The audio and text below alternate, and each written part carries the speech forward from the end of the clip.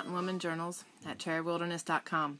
Thanks for joining me. I am back on part two of my kombucha and SCOBY video. Um, for those of you that aren't familiar, a SCOBY is a mushroom, and when placed in a tea mixture, it ferments the tea. It's similar to the process of water kefir and milk kefir. Um, it needs to ferment a little longer, um, but it creates a wonderful beverage that is really good for your stomach. It replaces and uh, it replaces the good bacteria in your stomach, which a lot of us are missing because of the processed foods that we're eating.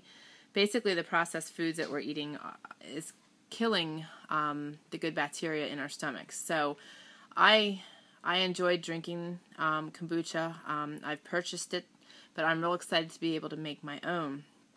Um, it's really good for a pick me up and is really good for you overall, but it's also very good for your stomach. So I'm going to show you. Um, I fermented my first batch, and I actually have a baby SCOBY um, along with the SCOBY that came in the mail to me. And again, Jennifer Osuch, thank you so much. I had a friend in Texas send me a uh, SCOBY, and um, she had it packaged in some of the tea that she had brewed and sent it to me. And uh, I started my own batch uh, last Saturday. Um, you need to brew it for about seven days. Um, I actually brewed mine for seven, and um, it's it's wonderful. It has a flavor similar to that of vinegar. Um, vinegar by itself is also very good for you and very good for your stomach and uh, a million and a half other things. But um, I'm going to show you the SCOBY itself because last week in the video I don't think I showed you the actual SCOBY itself. So um, in order to pick up your SCOBY, it's best to wash your hands in vinegar to make sure there's no bacteria on your hands. I'm going to do that and then I'm going to also bottle it because um, it needs to do a second ferment and I'm going to show you the process and then I'm going to show you the process of starting a new batch with my um, SCOBY and the baby and um, get that going so I have another batch ready for next week. So um, bear with me here while I wash up and I'm going to come back on and show you the SCOBY and what they look like. My men don't get this. Um, or my excitement. This is really cool. I love being in my kitchen. I love doing new things. I love being able to take care of my family. I love being able to be healthy and um, and we bake and cook and do everything from scratch. So this is just so up my alley. So I will be right back and I'll show you some more. Okay, stay tuned. Okay, guys. I know that looks really unusual, but um, this little one here is the baby. Um, and this is the full-blown SCOBY that I received in the mail last Saturday. So within seven days, I created this. And um, I've heard it referred to as putting the SCOBY in a hotel they mass produce. Um, I'm not sure what will happen this week, but I'll report back. This is going to be an ongoing little series I'm going to do, but this is really cool. These can be used for so many different things as well. Um, they can be eaten um, in addition to using them to ferment your tea. So um, I am going to take my tea that is in the container there and I am going to bottle it in quart jars and I'm going to add um, cherry um, concentrate and I'm going to add some chia seeds to mine for my second ferment and um, then I'm going to what I have here is a batch of tea brewing and it is still really hot so I need to let it cool down and once I have this jar emptied here I will wash that out with vinegar and then I'm going to put the tea in there and um, once that's at room temperature then I will add my SCOBY back in fill it up to the top of the jar there and I will then put a coffee filter with a rubber band on the top, put it in a warm, dark place. And last week what I did is I covered it with a bag and I put it in my office because I knew it would be safe there. And it did fine, obviously. So that's a good spot for it, so that's what I'm going to continue to do.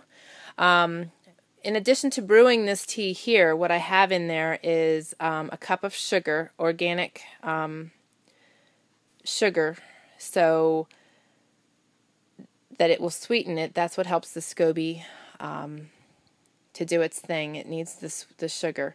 So that's basically what's feeding it.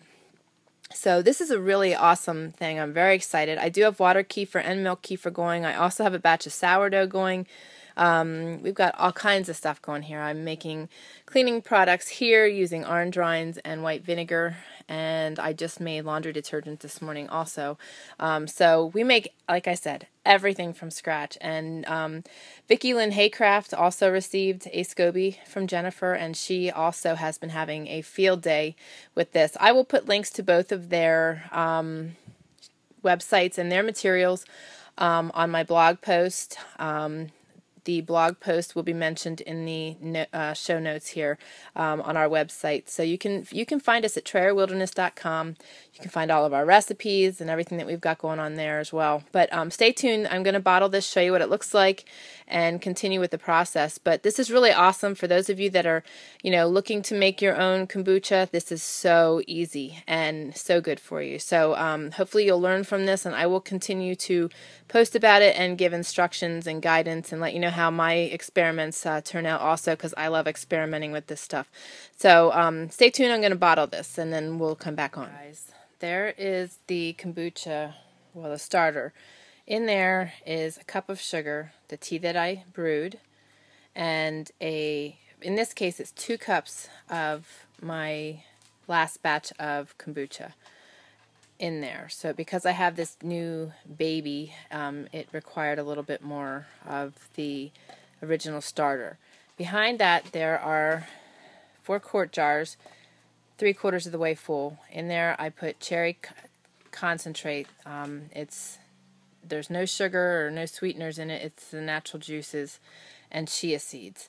Chia seeds are beyond amazing for you. They're good in so many different ways. You can eat the greens once they've grown. You can eat the seeds by themselves. I am actually going to do a blog post and possibly another video on that, but the post will be informative. Um, there are a million and one uses for chia seeds. Um, they're really, really good for you, very high in many things. So stay tuned for that. Um, I'm going to spin this camera around and put the SCOBY in here and show you that process, and then we are going to let this ferment again. I'm back. Hopefully you can see this good enough. Um, I think I'm going to put the full size, actually I'm going to put the baby in there first. It's a little delicate compared to the main SCOBY, but um, there you can see it. It's a little more translucent than the uh, mama, but I'm going to stick that in there, just like that. We'll then float in there and ferment that tea. And then here is the large one. Now this one, let me just grab this. Okay. All right. I know. A lot of you men out there watching this, I know it does not look appetizing, even to you women, but it does amazing things for you, and um, I have actually have a jerky recipe to use for the SCOBY, which I will do in another video. Oh, that might just go over the top here a little bit. And if so, we'll just clean that up then. Yeah, that's pretty full. Okay, there we go. The scobies are in the jar, and that is going to ferment for another week, and so are the ones um, in the quart jars. I am like dying to drink the ones in the quart jars. But they're going to need to ferment for another couple days, five days. I'm going to leave the kombucha um, do its thing for another week, seven days, and then I'll jump back on and do another video uh, for part three. So stay tuned. Um, if you have questions, uh, concerns, let me know. And also, you can find more information out on TrayerWilderness.com. So thanks so much for joining me today in the kitchen. I must run, got painting and yard work to do. So we will catch you on the next video. You guys take care and God bless.